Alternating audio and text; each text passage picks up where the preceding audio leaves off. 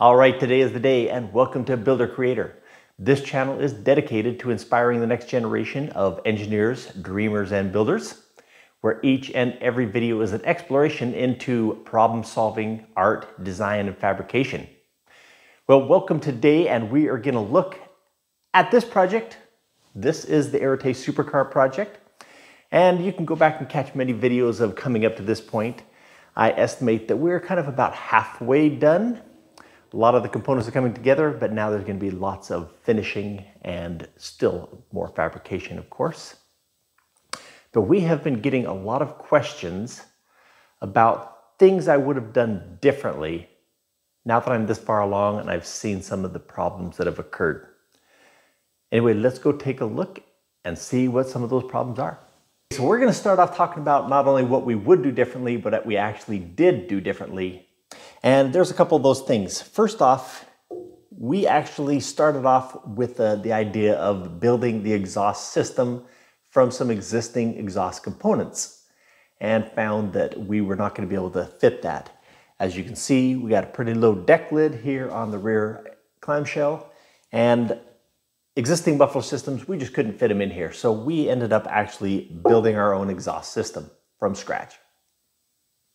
Second thing we, this is actually the second iteration of the lower control arms, actually third iteration. We actually started out going to manufacture or fabricate the control arms out of cast components. But since then have decided to go to um, welded steel fabrication.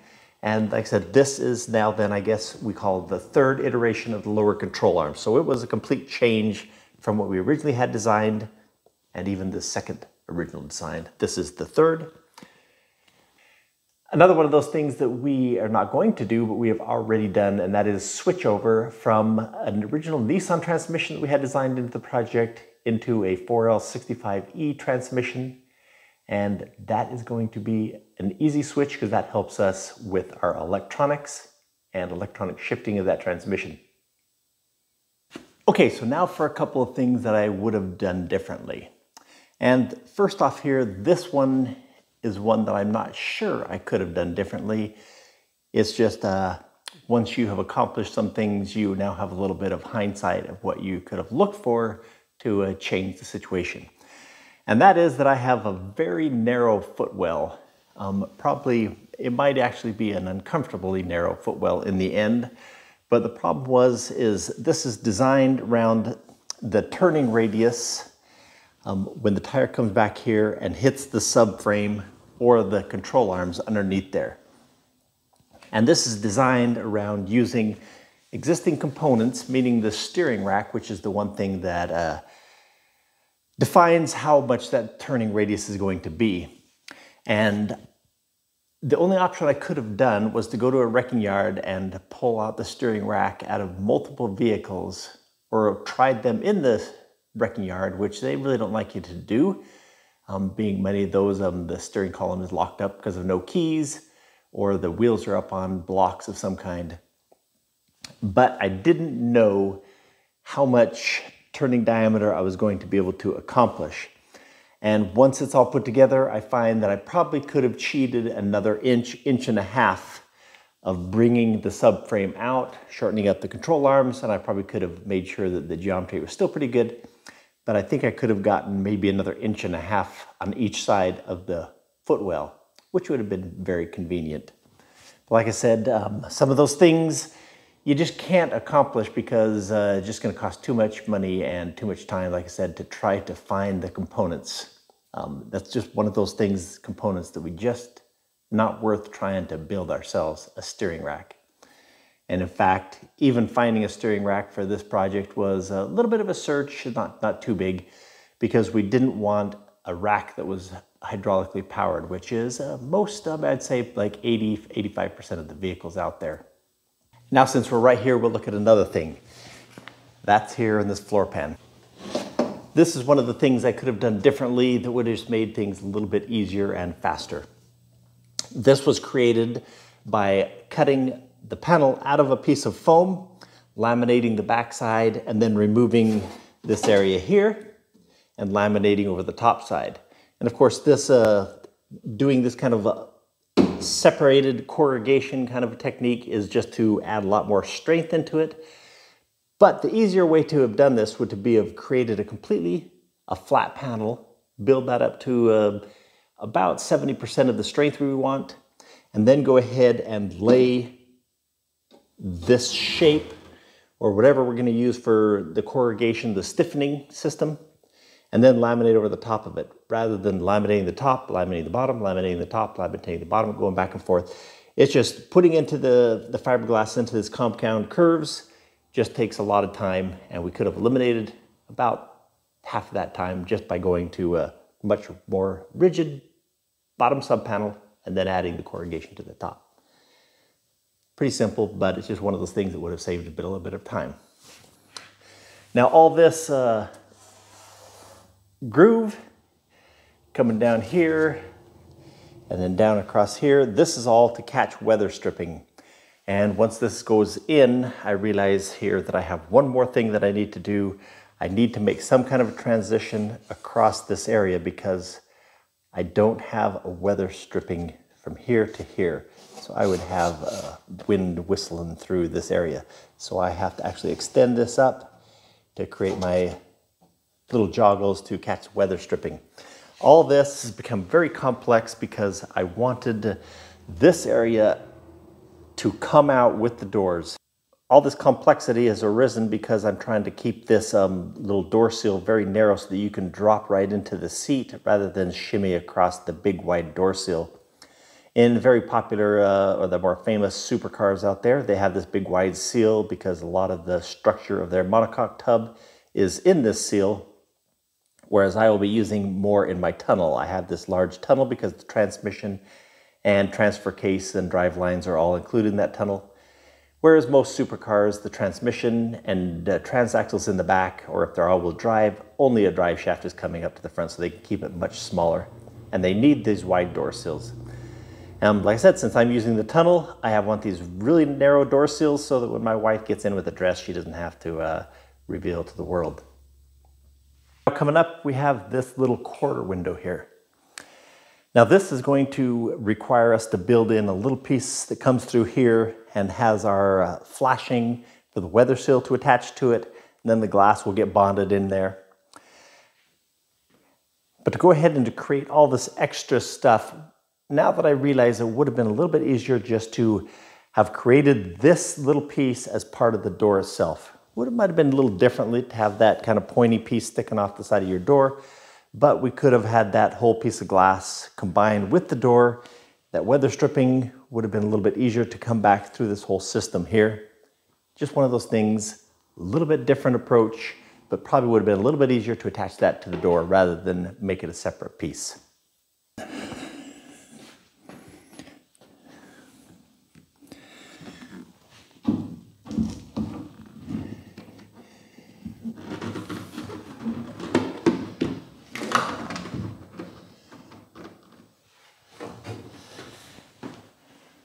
Now this one's a little bit different and I'm actually gonna ask you what you think about what I should have done. Because I mean, let me bring you up real close here.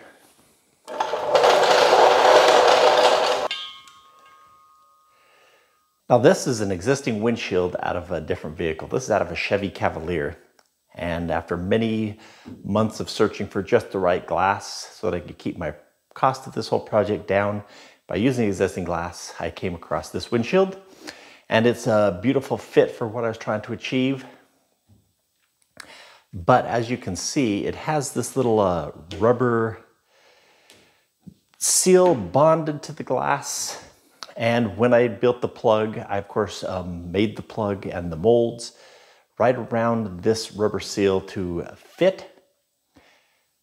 Now the trick is, or the question I have for you, do I leave the rubber seal on or do I trim it off because it would be much more of the modern trend to go straight to the glass transition to the bodywork. Now the problem is though, if I do cut it off, I have to do a lot of filling and resurfacing around the window. What do you think? Is it worth the effort to cut it off and rebuild the windshield frame? Or just go ahead and leave the rubber seal on the glass? Like I said, that's not a change that uh, I wish I'd done different. That's one thing we're gonna see about, are we gonna do that different? Okay, one of the things that uh, falls outside of the design is these hinges. I was going to be able to just, I thought that I was gonna be able to just put a pin through them and it would hinge up. But with this uh, arch going across here, it hits right here when it swings on this pivot point. So we're gonna have to actually make a hinge system where the whole clamshell goes back one inch and then it can pivot up. Just a matter of changing the hinge design a little bit. A little more complex hinge, but that is something we will be doing. All right, we're gonna have to get down here nice and low to see this part. If you have watched videos and you've seen the fabrication of this area right here, um, this was all done with the car upside down, most of it, so it is kind of low to work down here. And that's one of the reasons why when I was working on creating the original mold, the plug to, to the plug to create the molds, um, I didn't finish this and I knew that I could do it now. But in retrospect, after doing all the work here, I think I might have actually done this finished in the plug and had this as part of the mold for the car. It would have been a little trickier. I would have had to have some different parting lines because this would have been a major undercut in the mold, but we could have done that anyway. It just, I could have got a little better finish by fabricating the parts in the mold. And it's gonna be the same thing with the door. Once the door is put in here, we have to fabricate this in person rather than it would have been a little easier to have that molded into the doors itself. Okay, so here's one of the things that I would have done differently and this is more of a design thing that just in some afterthought, I probably would have done differently. Um, this little tiny front lower quarter panel sits about here. Um, the front of the car is a little bit narrower than the rear. And this was going to be solved, or it's still going to be solved, I guess I should say, with the front splitters going to come out and square the whole thing off. But in retrospect, I probably would have um, brought this panel out and turned it a little bit more, widen out the nose of the car. So since none of this area up here is actually finished or even built yet, um, building a front splitter and the grill and all that stuff is just a matter of making this thing look like it should be, even with the design as it is, these parts coming out of the molds. Um, like I said, we'll just keep working it until it looks right. Now, this episode was kind of uh, triggered by some comments. Um, people, like I said, asking what I would have done differently now that I'm this far along in the project and I've seen things that have occurred in the build. But what I think people were really asking is uh, what would I have done to make this whole project a little less complex? What would I have done to simplify it? And I don't know if I would have done that. Of course, the whole project is to push my limits to uh, make me stretch a little bit. But I think what people are really asking, and I've had people particularly ask this, is what do you think they should do to do a project like this but not have to be so involved and be so complex? And let me just say that I suppose the very first thing that I would recommend if anybody is building a project, especially if they're newer at this and they haven't done, or if they're completely new at this and they've never done anything before, is to start with a donor chassis to find a vehicle that has a chassis that you can remove the body if you're if that's your goal is to design and build your own body. So starting with a chassis that already exists, is, of course, is, makes things much more simpler, gives you a platform to build off of, and gives you dimensions right off the bat. Um, so there's lots of ways you could go about that. If you're going for an existing chassis, which uh, most cars don't have a chassis anymore, they're all unibody construction, um, but you can find something one thing would be like uh, older Corvettes that had um, frames under them that the body completely removed from. Um, you could also go to a shop that does hot rods. There are a lot of people that do tube frame chassis if you're not willing to build your own. Or even I've seen people take um, like dune buggies, dune buggies chassis, also a good platform to start on, tubular frame. You can find them sometimes very inexpensively and uh, use their scrap yards. Anyway, that would be a good way to start and make your project a lot more simple is to go with an existing chassis. Now, the second thing I would do to make the whole project much simpler would be to go to a moldless construction system, meaning that we would build the body as a one piece. Once the body's done, it's done. Not go through the whole process as I have done here in building a plug, taking the molds off of it, and the complexity of doing that. But that comes into some limitations in itself. Um, the whole purpose in doing the molds was to create all these flanges, these areas that turn back and make these little bends. And that's a completely different video for me to go in the complexity of what it would take to do a moldless construction and have all these pieces, these turnbacks and all these surfaces created in those molds. Extremely hard to do that. Now the solution to getting rid of all the complexity of all these joints for doors and bonnets and covers and lights and all these things would be to just purely eliminate them. Someone might build what a subscriber called a rolling bathtub um, I can kind of picture something like a, a Corvette chassis with a, uh, something similar to a D-type Jaguar without even any doors. You just step over the seal into the seats. It's convertible, doesn't have the top, might not even need side windows, just a little bit of a windscreen. Maybe the only thing we would have is just an access panel, a little tiny hood to service the engine, but the rest of it would just be a one single piece construction. And I'm going to show you that now in just this little bit of an animation of how that would work and you could pull a body off in this moldless construction. Now we have here this uh, D-type Jaguar that I kind of mentioned, and we're going to use that as kind of our uh, sample for this uh, description of moldless construction. Now whether moldless or molded construction, we need to build our plug and that can be done in many different ways. Of course, you've seen the videos of how I've done it with the plaster on the burlap and the plywood ribs. But you could also use uh, foam as a core and then coat that with plaster, build up your surface. We just need to have a surface that it's hard and glossy so that we can take our product off of that plug. Now for simplicity, we'll be looking at a slice of this car kind of right here in front of the windshield. Now, even though we're not building a mold, we still need to put a releasing agent on here because we do not want our uh, moldless body to stick to this uh, plug either. So we put our releasing agent on there, and then we're gonna add two layers of four ounce fiberglass. Now this is makes for a very thin shell. In fact, if we tried to take this thin shell off of our plug, it would just be flimsy and kind of floppy all over the place. Not much strength to it at all. But the thing is, when you do just these two layers, they do produce just such a smooth surface that we will not have to do much finishing on that surface afterwards. And the two layers don't deviate too much from the actual size of our plug. We're adding just very, very small thin layers. So the, the trick is then we need to uh, do something to uh, stiffen that up. We don't want to do it on the outside because the more layers we put on, the rougher the surface is and harder to finish. So what we're going to do is we're going to build a wooden framework over the whole body or the part if we were just doing a smaller part.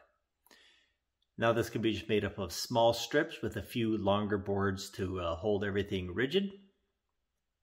And they can just be attached to our thin fiberglass layer with little small daubs of Bondo that'll be broken loose later on. Now once we have this wood framework over the whole thing, we can remove our fiberglass layers. Like I said, it used to be thin and flimsy. It's still thin, but now it's being held in position by this wooden framework. And we can pull that off of our plug, flip it over, and then do our reinforcing to the interior and we can just build up as many layers as we need to to achieve the stiffness and the strength we need. And we can also add some other flanges on the inside, maybe some bracing to give it strength where it needs to. And then what's left is to be able to uh, take our wood frame off. Like I said, that's just a matter of breaking all the Bondo free. And once we have our wood framework off, we can go back and sand and finish our surface layers of fiberglass. That was those two thinner layers that we did before. Like I said, those two thin layers produce just a nice, thin, even coating with maybe a few small lap joints. Those just need to be sanded off and finished, primed, prepped for paint. Anyway, thanks for stopping by today. And if you are one of those engineers or dreamers that want to be inspired by the channel, or just want to stop by and see what's going on here in the studio, make sure you go down and subscribe, ring the little notification bell, and that will let YouTube know that we want to let you into our little secret circle of friends. Anyway, once again, thanks for stopping by and come back and see us again here at Builder Creator.